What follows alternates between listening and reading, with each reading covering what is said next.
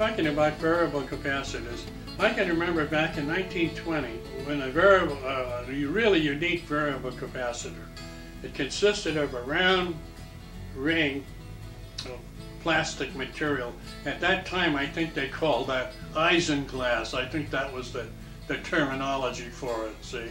In other words, it was a hollow thing, it was about a quarter of an inch thick, and it had two isinglass plastic round things in front of it, and it was sealed, and then into which uh, he had one uh, a, a half a plate on one of these transparent pieces, and then he poured mercury in, into the inside of it.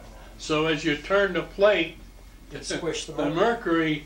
moved around. Mercury was one one plate developed by a an outfit called Parkins, based in Santa Fe. Really, uh, oh, incidentally, the sister of the Parkin, I think, was considered to be the first woman commercial operator. But Parkin had a little manufacturing place in the backyard up there in Fe. And as a little kid, I used to go over there with my eyes bugging out, and and uh, I finally got one of these things and, and brought it home and, uh, and played with it. I don't know that any good ever came of it. Funny thing. Crosley also had what they called a, uh, a book capacitor that, that opened up like a book.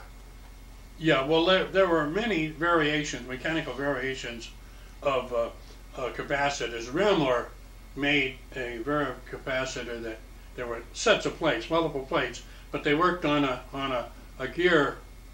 What you're talking about, and they, they came together. The plates the plates engaged each other as they as they came in like that. They worked on a gear, a gear arrangement. You know there were all kinds of variations during the broadcast area, from 22 to 28 and 30, there were all kinds of variations. And you, you can remember some of the beautiful Colin B. Kennedy stuff, mechanically just superlative. And Grebe. And there were others. And we, we haven't even touched headphones or loudspeakers, all of which, see, every one of these things interlock. Headphones were an important part of Back in these days, receivers. the only headphones uh, to get were what they were they called the brownies. They had the mica diaphragm. Brandes. Brandes. Yeah, yeah. Oh, yeah, see, because again, because there weren't amplifiers in this uh, uh, stage, you, you had to have as much amplification in the earphones as you could get. And so, therefore, highly sensitive designs of earphones were made. And later on, as the amplifiers came into being, well, then you had uh, oh, all kinds of other types of earphones. You know, when you say when you're talking about the development of receivers, you, you're taking a big, broad base. There's a lot of stuff involved in that. See, whether or not this sort of thing would be interesting to anybody, I, I rather doubt it. You know, I've been there, so I saw all this stuff. But uh, you know, who wants to know that? Well, I, I think there are people that, that want to know. The people that collect now, I think, are get bored with having the hardware, Yeah, and they want to know more about the intellectual evolution of what they have. yeah. So I, I, think there are people. That But it's a broad base, see? You know, uh, we probably missed out some other important phases of it. As I say, the loudspeaker industry, of course, developed as, by and large as an outgrowth of the broadcast. Obviously, the better. Remember the first phonographs, we had a horn on it, you know, and you wound them up at spring line, and the, a big horn that, that came out, see?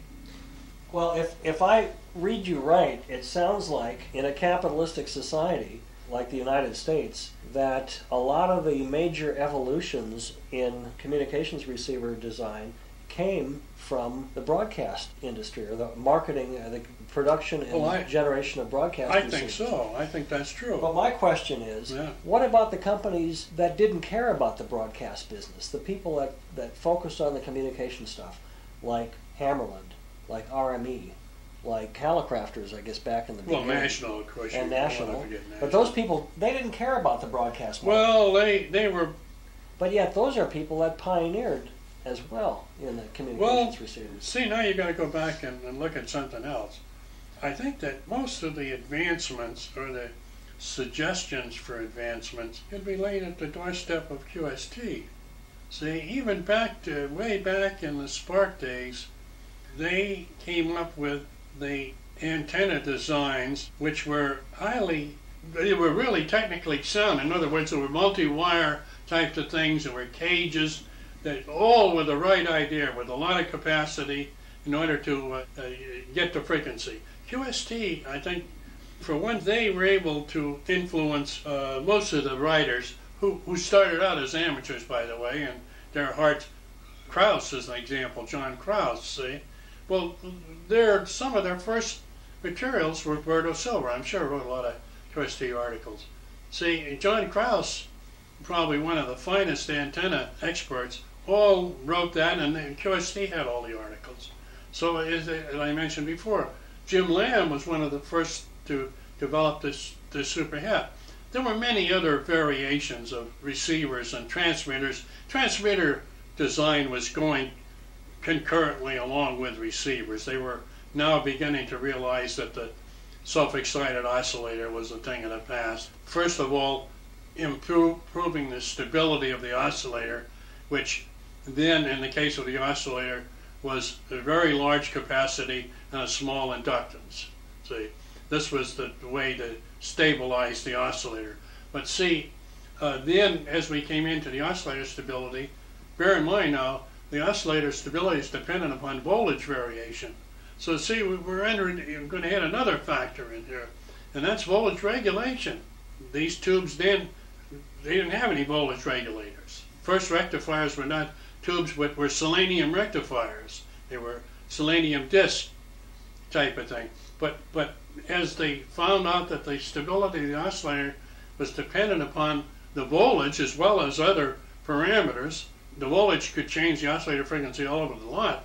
The, the need for voltage stabilizers came into it, and so that these gas tubes that at a certain voltage the gas conducted and stayed relatively constant was in here, and so now you're uh, you're right into your solid state uh, voltage Do you remember the UX 874?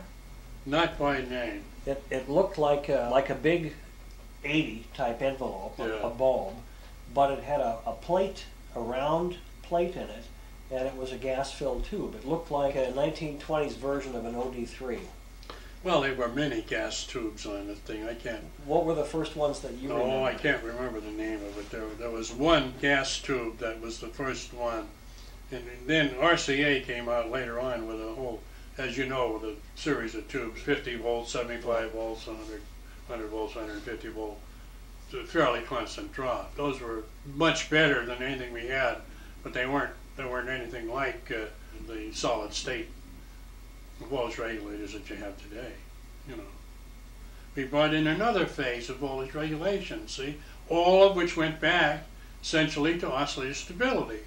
So the, the first thing that they started out the need for was to keep the oscillator stable. Collins with his permeability tuning and sealing and the thing. Uh, then he had voltage regulators in those receivers too, but they were the, the primitive type, but they were voltage regulators. All the Collins receivers and transmitters have them in it. See? So it sounds like then that first Collins receiver laid out State all of the- the all of the intellectual groundwork, Pretty the much. foundations for the next pretty twenty much years. state of the art. Now, but bear in mind now that, with the exception of the mechanical filter, uh, most of those things were borrowed from other uh, uh, technologies. You, the IF transformers and things of that sort were But not. Collins was the first guy to put it all together into one. Yeah, yeah, yeah. Well, not only that, but there were circuit parameters in there that were almost uh, first as far as. See, they had some very good engineers in there.